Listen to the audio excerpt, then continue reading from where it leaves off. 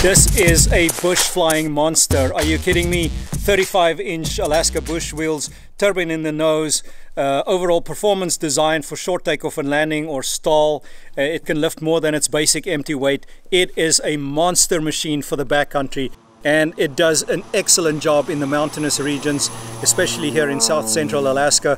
The owner flies it up to 10,000, 12,000 feet for glacier landings in a few minutes you're up from sea level to you know 10 12,000 feet effortlessly. So it climbs in 10 minutes to flight level 150 it's very capable. It flies like a super cub. It gets you out of trouble with these 35 inch bush wheels in no time and it creates a, just a really pleasurable flying experience.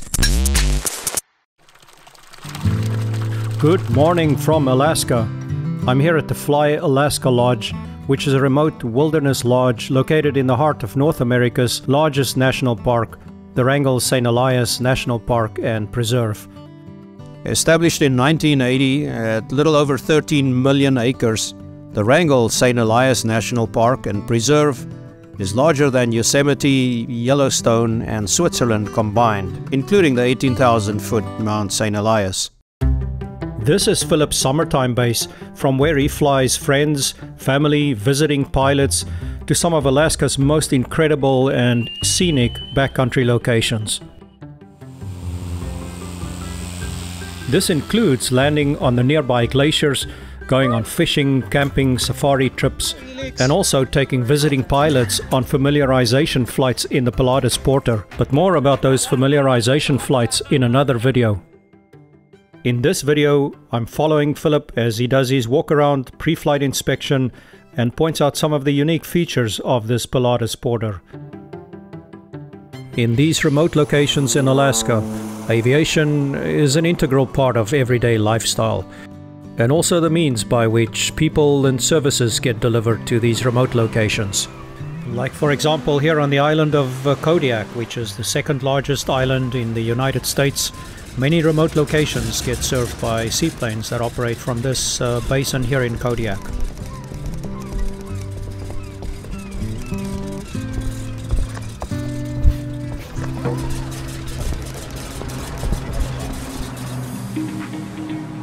Philip maintains a fleet of several aircraft at his lodge, and depending on the mission, he'll fly any one of the Pilatus Porter, the Husky, Super Cub, or one of the Cessnas.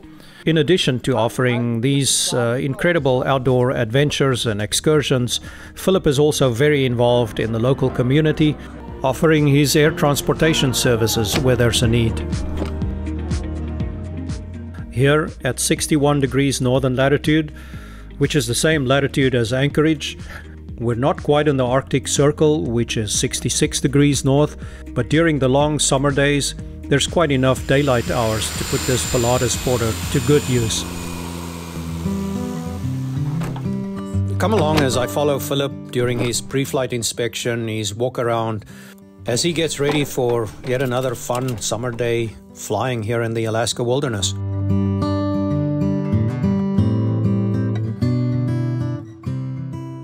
Good morning, Philip. Good morning, Deon. What a beautiful morning. Absolutely gorgeous. You've already flown this morning. Oh, a lot of fun already. You're going to show us a little bit about this airplane as you do the pre-flight and walk around. What an amazing aircraft, backcountry flying machine, and just a very capable airplane for this kind of environment. You're very welcome. Uh, let's start with the pre-flight. I'm gonna show you everything. How long have you owned this one? Since 2016. This is a, a Pratt this is a Pratt & Whitney, a PT6-27 with 550 horsepower. Um, and that's a screwdriver, which comes with every airplane.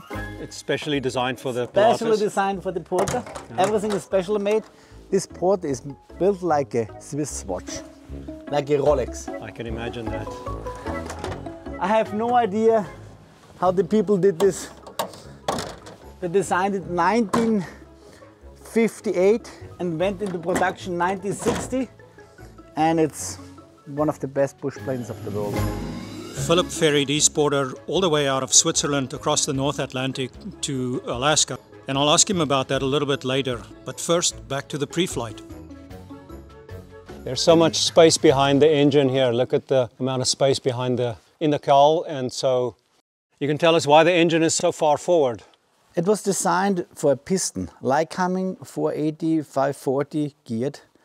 And the airplane was never a really good performing airplanes. I don't like it too much with the piston, but with the with the PT6, it's awesome. And so now to adjust for the CG with the lighter turbine, it needs to be much farther forward as well. Absolutely correct. So I'm just checking the cowling. You have to check the oil. Actually, 10 minutes after the, air, and the engine was running, now it's stabilized. You see 2 And actually, this turbine you don't check in the morning. You check it after 10 minutes is running. And if there are no leaks, which I'm checking right now, I can see not one drop, nothing. Mm, you're fine to go. I always keep my screwdriver in my pocket, in my right pocket, so I not forget it. Because you if you don't close it, it's dangerous actually. Philip, you ferried this porter all the way from Switzerland to Alaska. Can you tell us a little bit about this transatlantic ferry? I flew this plane over from Switzerland. Um, this was my flight plane. I took off from Switzerland. First stop was Wick in Scotland. Then we flew to Reykjavik, mid fuel. Then actually we fuel fly up here and uh, Fjord, Iqaluit, and Yellowknife, and here. It was five days, 44 hours. Wow.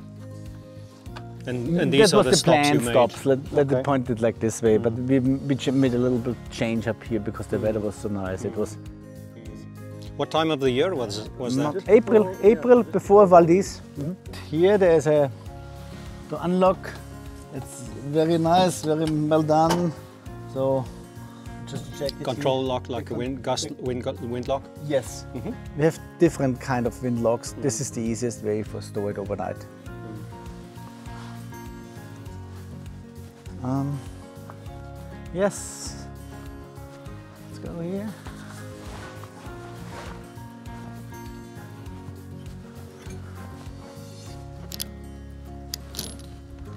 So this port is super light. I made it for myself. Um, it has empty weight 1,233 kilograms and the maximum takeoff weight is 2,800 kilograms. So it can hold way more than its own weight. Tell us a little bit about the landing gear. The 35 inch tires are beautiful on this airplane because the angle of attack is now different. It's much steeper and we fly into really rough airstrips like Jake's Bar. It's standard, standard. Um, this one has skis.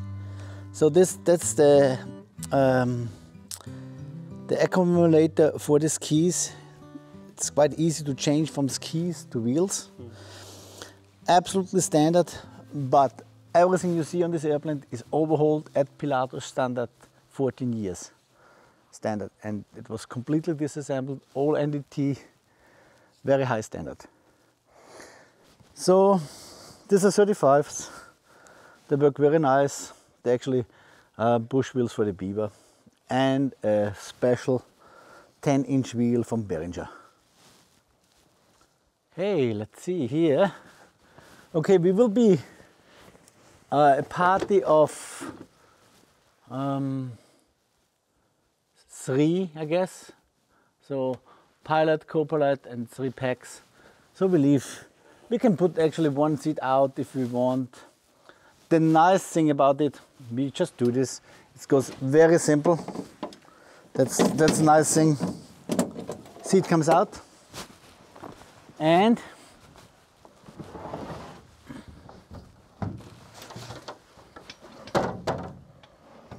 you can store all six seats in here. So you can carry freight or you can carry passengers on one leg, freight and the other one passengers.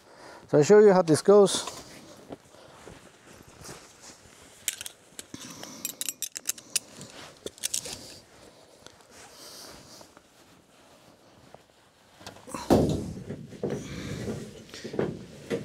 Oh, and it's secured already. And this is it. No movement. Absolutely gorgeous. On this port there's not one screw too much or too less. Everything fits. This handle is actually for the skydiver. You, the, the, this is a skydiver kit. So when the skydiver jump out, they don't get stuck on the handle. That's standard. So the, as this is an H4, it has this big fin for stabilization. We have a huge elevator and the whole thing is moving like on a Super Cub.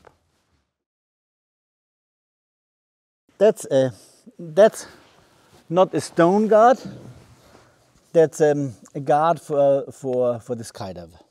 Huge elevator, Uh, a critical part on the port is always the design of the tail wheel. So if you fly in an environment like this, you grease it every day.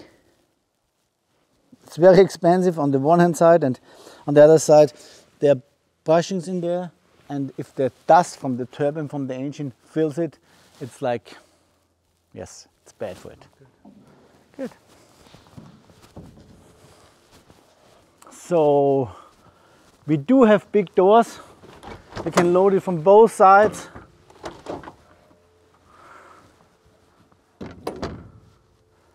There's one thing more I would like to show you. Okay, one thing which is awesome about this porter, about every porter, this is a standard. You have a trap door. Look at this. I open here.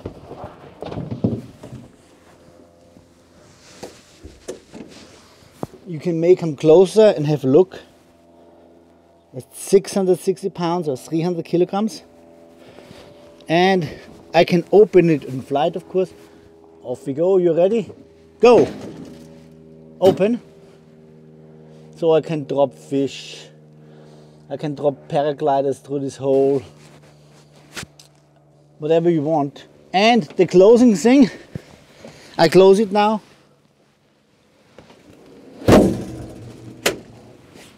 And it works like a, a Swiss watch, like a Rolex. Everything is designed uh, I've, I'm around airplanes since 40 years, and I fly Super Cubs, I fly Huskies, I fly Shock Cups, I fly Highlanders, all kind of bush planes.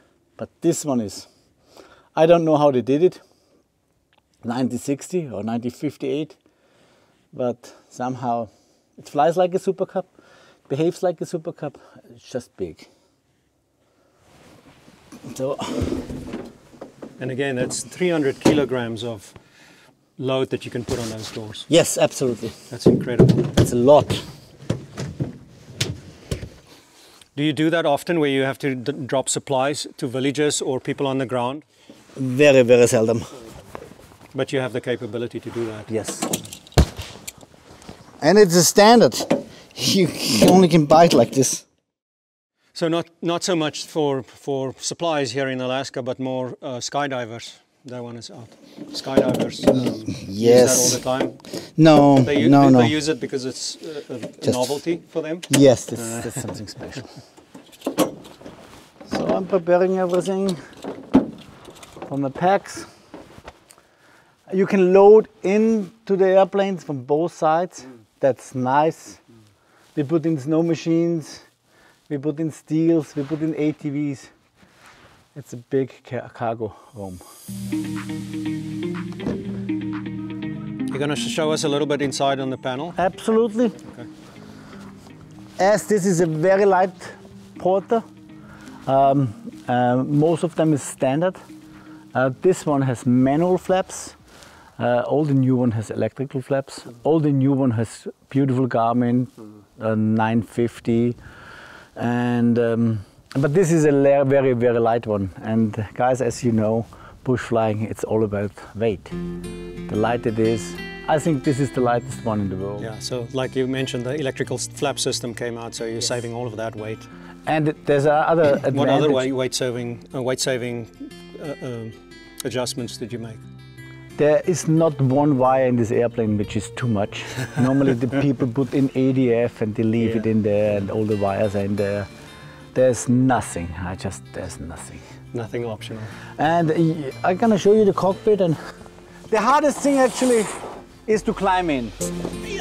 Then you hold left feet, you hold yourself in and get in and you're in. And this is amazing. I teach in this porter and everybody says, oh, this feels like a glove. It just fits, everything is on the correct spot everything is perfect. I made as little as um, changes as possible. Standard, they're G5s, not standard. Um, standard instruments, this is still counting in liters. Everything on this airplane is in metric. Um, all these are standard. Of course, I have an iPad here and I have a, a GTX uh, 345 and a Garmin. But this is standard, all of them are standard. The fuel tanks are standard. Uh, uh, here you can see the, the brakes, a Beringer, they work very well. Uh, the, the parking brake is working well. That's the ski pump. So the ha- show again. That's that's the ski pump. okay. So you can change from wheels to skis and you drive the skis down. And on the field condition, or the, the yeah the, the field condition, um, you also have the low idle and high idle. And what is the procedure for for taxiing versus takeoff? Do you always take off and land with high idle, or does it not matter?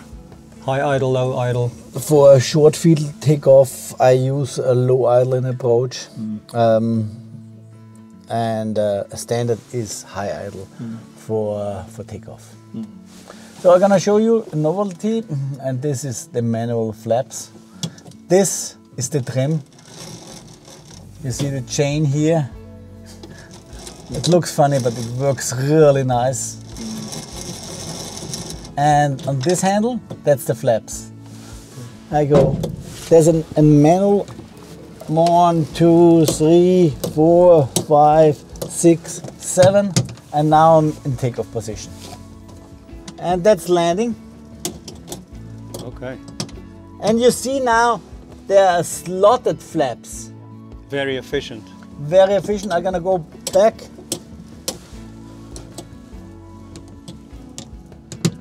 Here. Uh, this is your takeoff position. Yeah, that's takeoff position. So And uh, you mentioned something about the control surfaces are, the parts are interchangeable, so the flaps can be interchanged with the ailerons. um, the flaps cannot be interchangeable with the ailerons, but each flap can be changed with each flap. Okay. So we have four parts, four parts of flaps, and you can change any part of the flap. So this makes field replacement very easy. You don't have to have a specific left or a right side. Absolutely. So the people who designed this airplane were, some of them were mechanics, so they would like to have it as simple as possible. I'm gonna show you the trim. We're gonna go full down. We're gonna go full up. And there's, like you, I think you mentioned before, there's no hydraulics, no electrical control. No. Is there an option option for any other uh, hydraulics? Negative. Only the flaps and the trim. There's only one fuel cutoff, one fuel lever. Mm-hmm. That's it. And this actually, we call it the Jausenbrettli, Swiss German. And that's where you put your lunch in.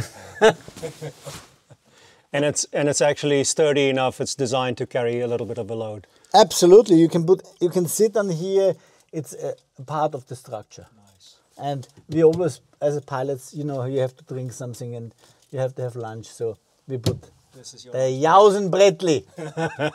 That's that's incredible. What is the, the- so that's the uh, the brake um, uh, The brakes, controls? yes, on the toes. No, no, just this side in the middle. That adjustment knob. Ah, yeah, yeah. You can you cannot adjust the the the, the, the seats in this one, but you can adjust the pedals. So you see now, full forward for bigger people, and for small people like me, it's like this. And yeah, that's the the lock. Yes. So this one is easy. And this in the middle here? That's the ski pump. Okay, ski pump and it's hyd- hydraulics That's the and hydraulics. a reservoir. Very cool. I hope I gave you an overview about this beautiful porter. It's a really bush plane. So if you want come to fly, you're more than welcome. I and my guys are refurbishing porters. We only do porters. And my least experienced guy has 20 years on type. So every screw you find in this porter is original. There's not one not original screw. And all the parts are coming directly from Pilatus. You can still buy all the parts, every screw. You say, I want to have, I don't know, I want to have this handle. And then you pull up the parts catalog and they're gonna send you this handle within the next day. And even though Pilatus officially stopped the production, they will continue to support the, the maintenance for how many years? 30 years at least, 30 years. three zero years. So finding replacement parts or any kind of maintenance should never be a problem. It's never a problem. You can order them right now at the Pilatus factory, and tomorrow they're gonna ship it out. Like for the 12 and the 24 and all the military airplanes Pilatus has.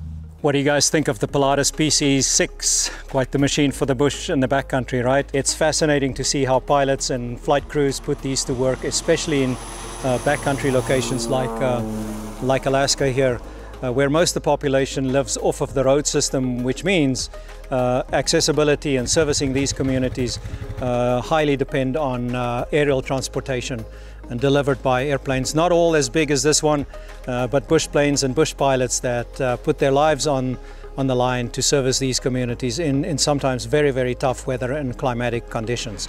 This one does some really, really interesting work here in McCarthy, South Central Alaska, and hopefully I can find more like this, uh, more examples of bush aircraft and their pilots to show you guys exactly how these machines are put to work and, and doing good stuff for the community as well as the neighboring areas in uh, the south central part of Alaska. There's uh, some fascinating flying that happens in, in uh, these backcountry locations. So, what do you think of the Pilatus Porter PC6? Thanks very much for watching. If you watched until now, hopefully you'll come back and see what else I can find in this region of the world in terms of backcountry flying and interesting applications of uh, aviation. 07 Charlie, step taxi needs approved. 07 Charlie on the slide. 571 Tango approved as requested, west clear to land number two. Yeah, he's short final now, no factor for you. 07 Charlie west, clear for takeoff, early turnout approved for the checkman. 07 Charlie's on the slide. Okay, I think I see you. Yeah, I just got Bravo with me. She'll be fine. Can we all come? Okay, great. All set, uh, figure eight, lake 1,700 northeast